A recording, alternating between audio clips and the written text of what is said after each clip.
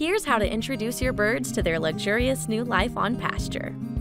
Bring your first crate to the back corner of the schooner, as far from the entrance as possible. This box is full of birds, so tip the crate to make room to lift the flap or open the hinge door on the opposite side. Lower the crate to the ground, then slowly tilt it downward so the chickens slide out. This process doesn't hurt the chickens, but you can make their landing even softer by keeping the crate as close to the ground as possible. Double check that no stragglers are stuck inside the crate, then start unloading the rest of your flock. The chickens need a full day to settle into the pasture lifestyle, but soon you'll need to move this massive structure every morning so the birds have access to fresh grass and bugs.